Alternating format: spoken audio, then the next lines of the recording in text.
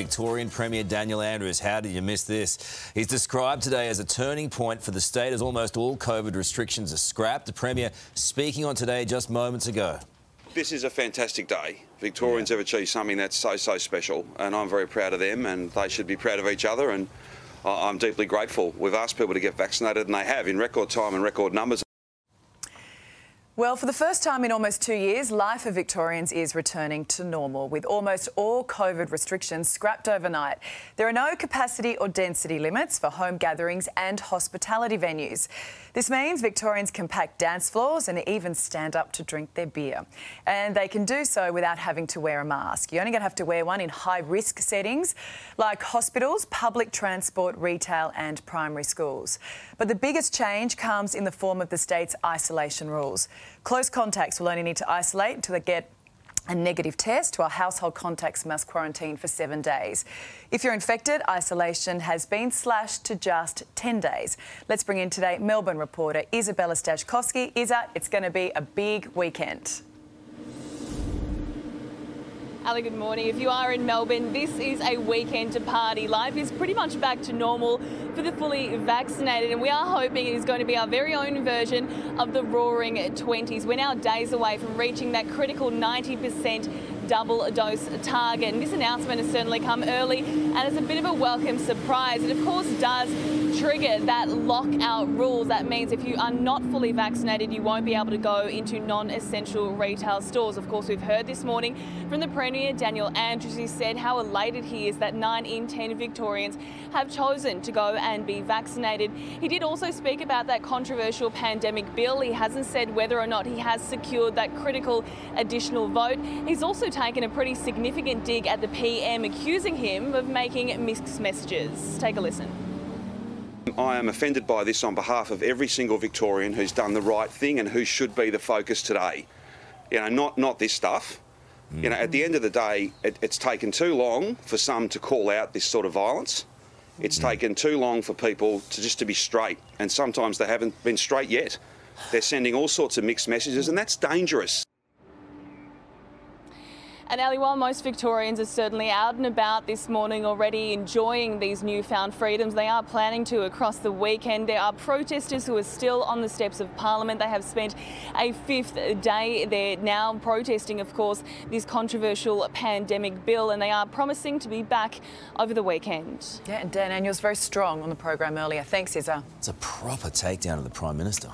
Provocative. You guys have been to hell and back. You must be pretty happy about this one.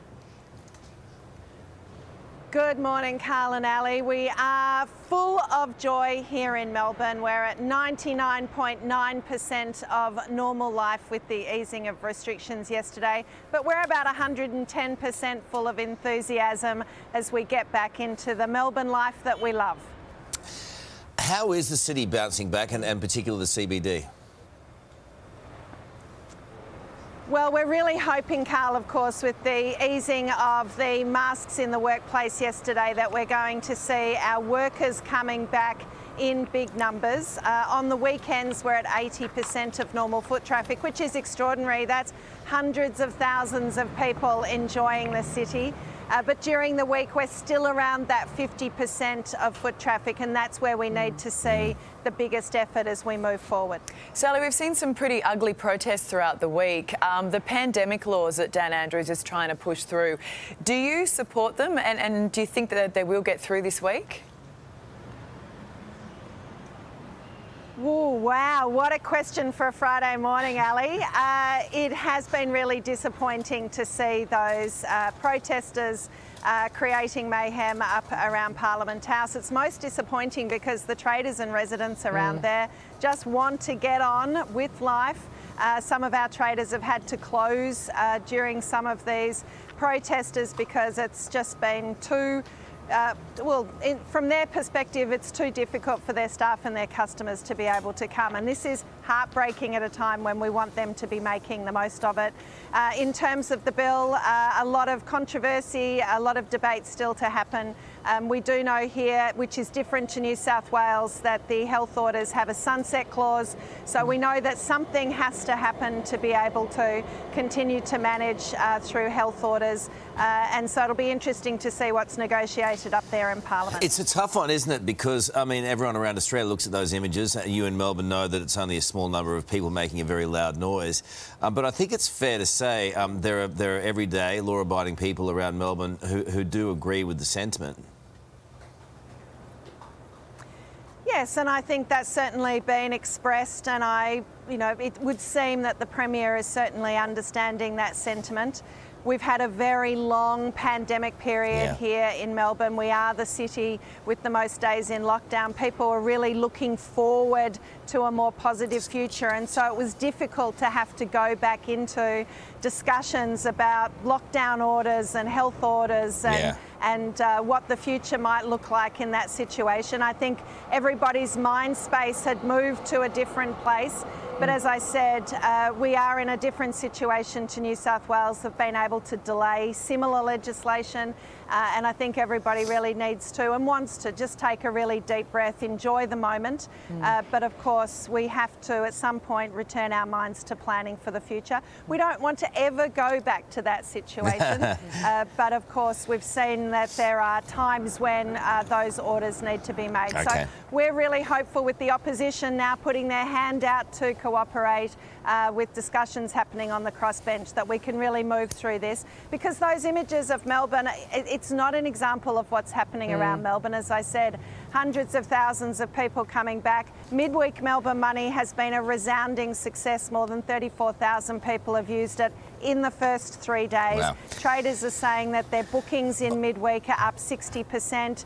Christmas has started Yay! and we can now verti- well done, Sally. and dance. So let's do it. She'll be on the dance floor tonight. Thank you, you Sally. Lord Mayor. Nice Thank to you. talk to you. Well, six lockdowns, close to two years of restrictions. Finally, Melbourne, it is time to party with the vast majority of COVID restrictions scrapped overnight. But for one cafe, the new freedoms are bittersweet with his venue now facing crippling staff shortages. We're joined by the owner of Cafe Republic in South Yarra, Paul Billette. Paul, thanks for your time this morning. Just firstly, how good is it to see that your, your city coming back to life? It is so good, Ali. It's so good to be open and to start serving people again in a normal way. Look, we've spoken to you a few times throughout the pandemic and we've sort of ridden the highs and lows with you. I imagine today, amongst of this feeling of excitement, I know you're a little bit apprehensive. Can you just explain to us why? It's, look, it's been amazing, and we, we don't want to complain, but uh, like it, is, it has been a staff shortage, and um, to try and grab a hold of staff from, well, we thought opening up again would be ready to go. Staff would be keen to come back, but it's um, yeah, it's been a bit difficult. Everyone, I think, people want security in their job, and I think hospitality isn't giving them that security. So um, we've had to diversify a little bit in our ways of getting our staff back. And what does that look like? Uh, we've got um, some regular customers that come in that have uh, kids at school, so we've been hiring uh, 15, 16, 17 year olds that are unbelievable and, and really passionate and motivated, but um, it's a bit of a roadblock because they can't take alcohol to the table. So mm. there's there's that. But you know, we don't want to be the we don't want to be the you know the glass half empty restaurant. We're really really happy to, to be open, and we actually mm. have got a team together now that are, that are doing the job. But things like specialised things like baristas, it's really hard to get a barista. We had um, an out on seek four weeks ago, and we had one applicant. Um, and that was it. We just, yeah, we're so we're really struggling in that department. But, you know, can you make coffee, Ali? I can, not very well, but you know, I'm willing to give it a crack. But like you say, you, you put that ad in, there was one person who it's replied. A long, it's a long commute.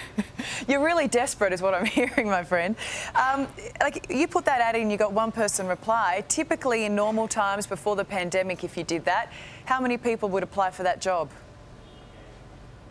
Oh, a couple of hundred, you know, like we get a couple of hundred. I was so surprised, you know, you put $300 on a Seek ad and you just get flooded with flooded with emails, but it just hasn't been that way. And, I, and it's, it's, you know, they've been, they've been sitting at home for three months. and I think these long lockdowns haven't helped.